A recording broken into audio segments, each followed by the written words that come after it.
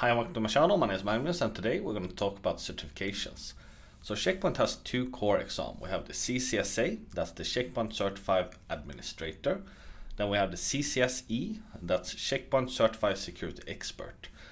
Both of these are valid for 24 months when you write them and they cost about 250 US dollars it's more or less always possible to find some sort of discount code on the Checkmates community. So if you're planning to write it, please check there before.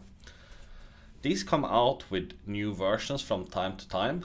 I did write my first uh, CCSA when it was R71 and today in March 2023 it's R81.10 or R81. So these come out with new versions from time to time so you need to check that as well. Other than the core exams, there is something called Infinity Specialist exam. These are also valid for 24 months, the certificate itself. They cost around 200 US dollars, same here. Look for discount code. There is normally available something in the Checkmate community. And these extend your core exam by one year. And I put a little asterisk there because there are some changes. We will go into that more later. And these ones are needed to achieve the higher certificates, the master certificates, the all nice ones, the CCSM and the CCSM Elite. So the, the Infinity Specialists are like dedicated exams for a specific topic like VSX, MDS, cloud. Actually, it's AVS or, or even Azure there are troubleshooting certifications and there are like specialists for endpoints. So there has been some changes made starting from April 1, 2023. This is regarding how the Infinity certificates actually extend or what is required for the specific exams. So for example, the CCSA can no longer be extended with the Infinity Specialist exam you can, as of today, only extend them, only extend the CCSA by writing the CCSA again. Most likely, it will be a new version. So if you write it today, it will be like R81 R81.10, And in two years, when it's about to expire, either you go for a CCSE or you write the new version of the CCSA. There's also new rules regarding CCSE. So if you have R77 or prior, you need to restart. Before there has been like update certificates or you can take like a new version of uh, CCSA if you did have a previous one.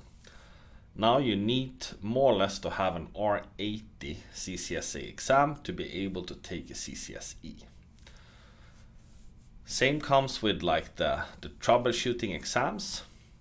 So to be able to take a CCTE, the expert troubleshooting exam, you need to have an you need to have a valid or expired CCSE from R80 or above before you were able to take this uh, even when you only had the CCSA. So these are small minor changes so to say.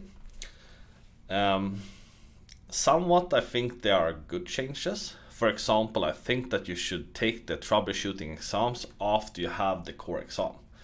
This makes more sense. Before there was no pre-requirement for these. However, I think that the CCTA, the troubleshooting administrator, should actually extend the CCSA. So there is a lot of acronyms, a lot of like uh, uh, CC whatever whatever but um, check the certificate FAQ when you're about to write. So when it comes to the certificate itself, normally it's 90 minutes, around 100 questions. It varies between the certificates.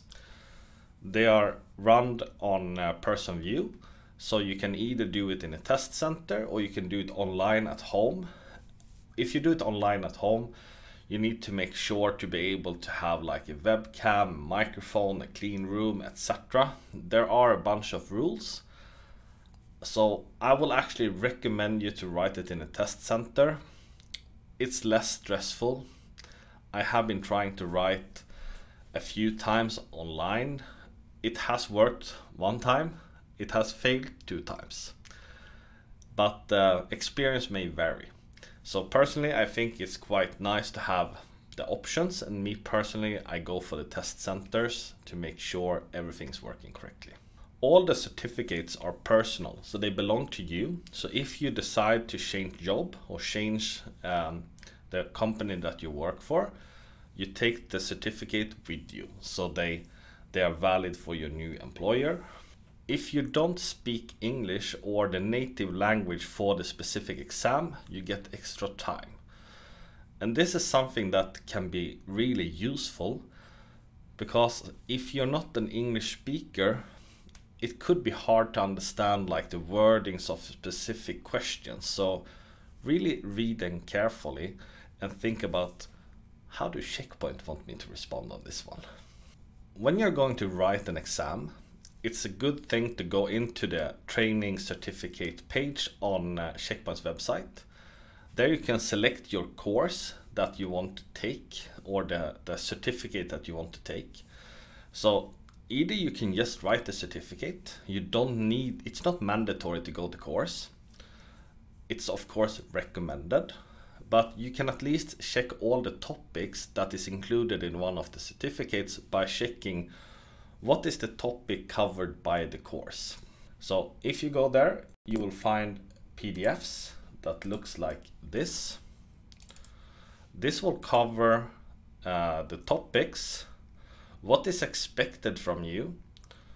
So check this out and uh, test yourself if you knowledge about the specific topics in questions and the objectives of the exams it's also important to understand that when you do one of these course or when you do one of these exams, they also expect you to have worked with the product in real life.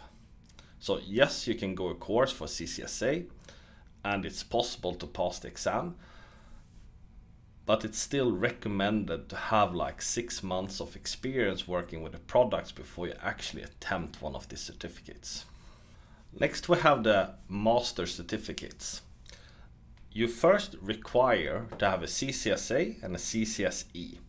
The CCSE need to be valid and then you can add one of these specialist exams. For example, if you decide to take the CCSA, you go for the CCSE and then you take both of the troubleshooting ex exams. For example, you can pick any of them.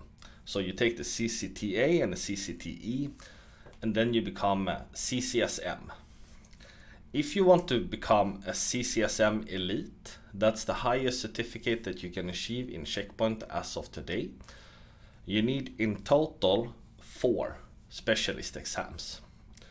And these of course need to be taken while the core exam is valid. So you need to have your CCSM, a valid CCSM, and then add two additional specialist exams. So is there any value in certifications? Knowledge is always valuable, so don't underestimate that. You also gain higher access within the Checkpoint website and you can actually bypass some of the support levels if you come high enough on the certificates. It's also required for different partner levels. So the higher the partner status is, the more certified staff they actually need. So this is an example of a five-star partner. So they are required to have two CCSE or CCSM. And they're also required to have a bunch of other certificates to meet the partner status. There are more requirements than only certificate staff, but this is some this is a part of the requirement. So this is beneficial for your employee because they get higher discount the higher status you have on your partner level. There is also some hidden benefit of becoming a CCSM elite. At least here in Sweden, they have their own little elite club. Sadly, I'm not a member of this as of yet, but uh, maybe it's time for me to take some certificates. I'm currently have a CCSM So a CCSM Elite would be nice. Little bit nicer badge and um, you get a small little award. I think in this case it's for the top 10, the first 10 that actually uh, managed to achieve the CCSM Elite level. Also within the Checkmates community, there is a dedicated section for the CCSM. I'm not sure if you require a CCSM Elite or only a CCSM. Currently it's 346 members and when you have your certificate you can apply to become a member. If you want to see more information regarding certificate you can check out the SK 163417.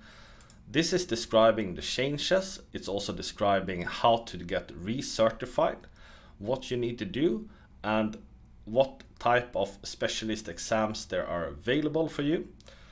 And if you want to check the specific details on each course, you need to go to the training and certification checkpoint. Then you can just click in on one of these and you can see the pre-requirements, how you will benefit, and you can also get the training data sheet so you see what is included in this specific course.